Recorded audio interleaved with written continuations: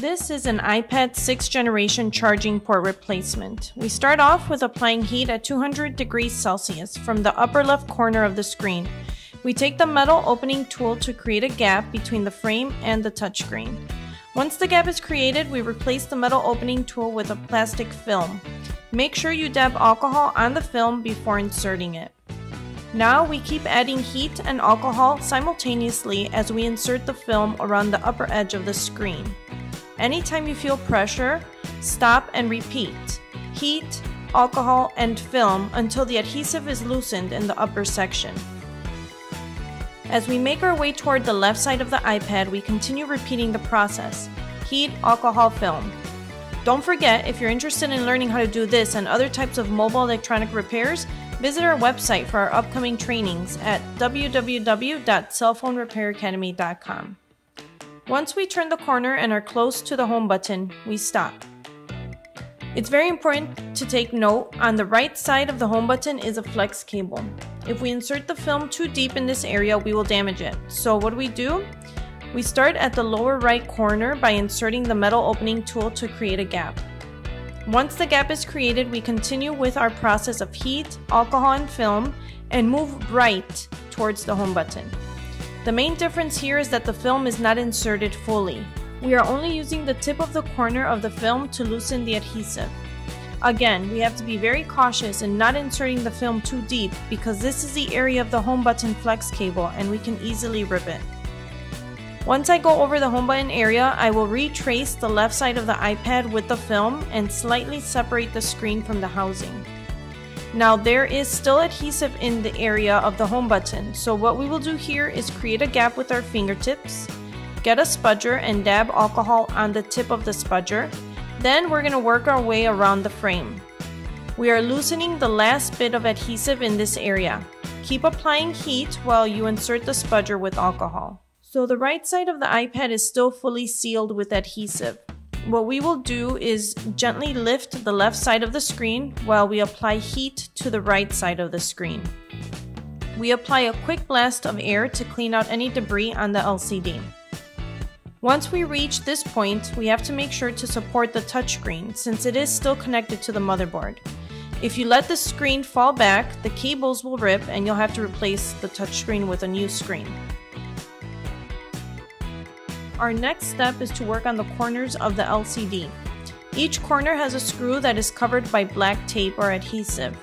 We start with the upper left corner, use our tweezers to remove the adhesive and expose the screw.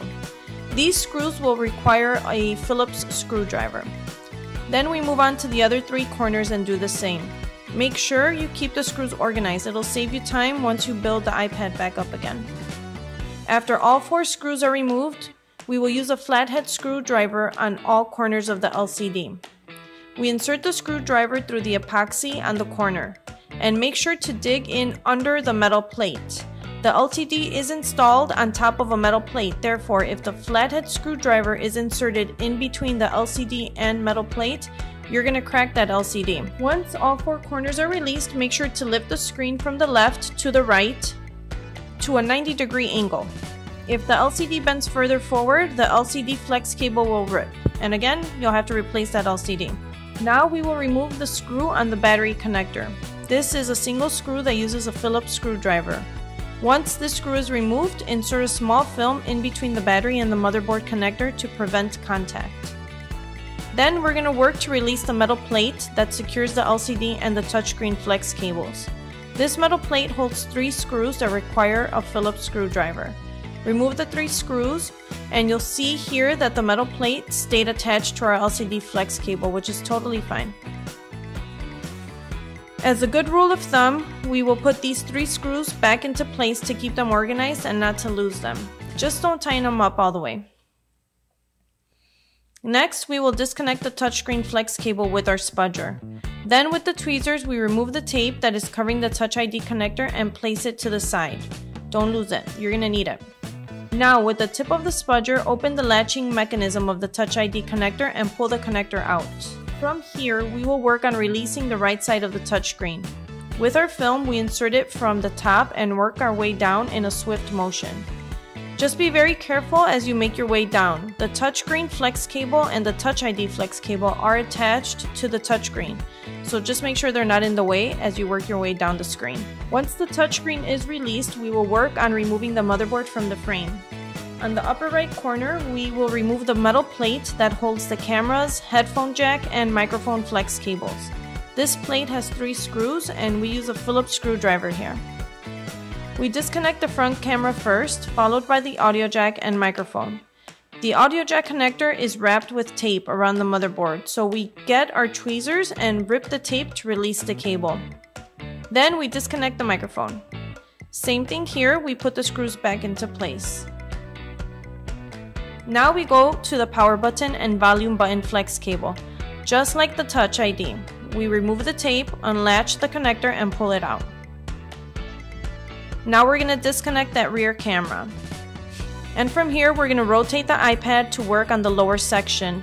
Right under where the home button is located are two screws. Make sure to tighten those up. These screws are what hold the metal plate that holds the charging port in place. When these screws become loose, the charging port starts to wiggle and it'll get damaged. Now remove the long screws on the sides of the charging port with the Phillips screwdriver. Next, we will work to remove the Wi-Fi antenna flex cables. Take the spudger with alcohol to loosen up the adhesive around the flex cables and with your fingertips work to loosen them up gently. Finally, with the spudger, disconnect the antennas from the connectors. The charging port flex cable comes with the connectors to the speakers. These connectors are covered with tape, therefore use the spudger with alcohol to remove the tape and expose them. Unlatch the connectors and pull out the cables. With your spudger, get a dab of alcohol and work your way under the charging port flex cable, making sure to loosen the adhesive that holds it in place onto the frame. Dab some alcohol on the plastic film and insert it under the charging port. Do so in a continuous downward motion. Continue to dab the alcohol on the film and work your way down. We cannot move the film back up. This will cause damage to the traces on the board, so just remember to continue moving downward. Once we get to about halfway, we use our heat gun and apply heat to the back of the housing where the motherboard is located at 300 degrees Celsius. Steer clear of that back camera because we can damage it if it's exposed to high levels of heat. So we continue working our way down the motherboard with the plastic film. Once we reach the battery connector, we work our way down the opposite side of the motherboard. We skip the battery connector area and continue to work our way down and around until the motherboard is released.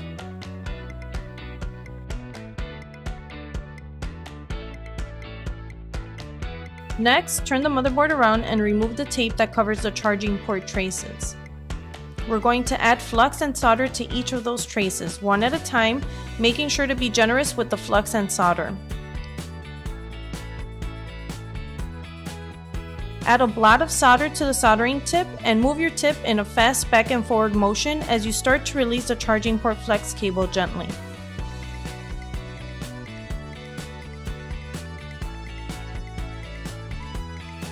Add flux to the traces and with your solder wick, clean the remaining solder. You will see these two golden squares on the edges of the traces. Make sure not to touch them. These are our reference points to align the new charging port.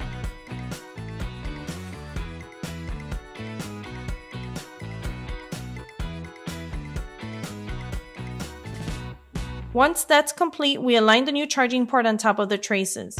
The new port comes with two see-through squares on the edges. These see-through squares will lay on top of the golden squares below. Next, we apply flux on the flex cable and then we solder the first trace on the right side next to the golden square.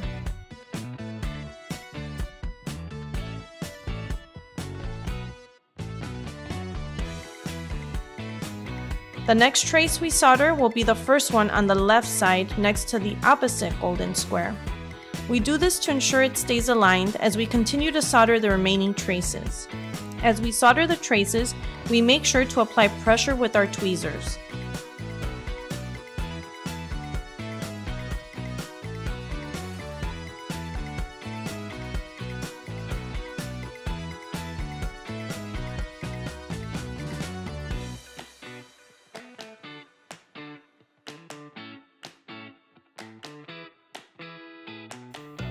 We go over each individual trace one more time with solder and then with a q-tip dab some alcohol and clean the area. Finally with our tweezers we check each trace to make sure there is no movement or bouncing. If any of these traces are bouncing, that means they did not attach properly to the motherboard and we would have to resolder them again. Now we cover the traces with heat tape to prevent contact with the frame, which can cause a short, and then we insert the motherboard back into the housing.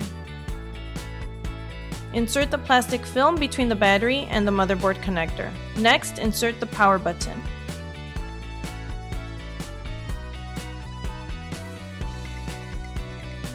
Then, remove the blue film to expose the adhesive on the new charging port flex cable and install the charging port onto the frame.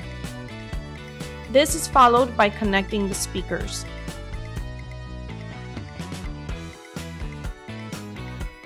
Now install heat tape over the connectors for the speakers and then reinstall the long screws from the charging port. Organize the Wi-Fi antennas back into place and connect them with our fingertips. We make sure to reuse the tape that goes over the power button connector and remove the screws from the upper section of the motherboard. Then we will reconnect all of the connectors and install the metal plate to secure them into place. Now we connect the Touch ID and install the tape over the connector. This is followed by installing the touchscreen flex cable and the LCD flex cable. Install the metal plate over the flex cables with the three screws to secure them into place. Make sure to remove the plastic film between the battery and the motherboard and insert the screw into place. Then we secure the LCD with the four corner screws.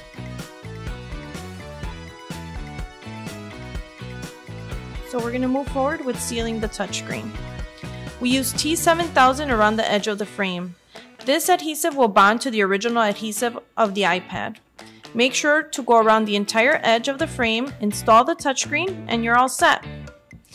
So if you're interested in learning how to do this and other types of mobile electronic repairs, Make sure to visit our website for our upcoming courses at www.cellphonerepairacademy.com. We hope to see you in class soon.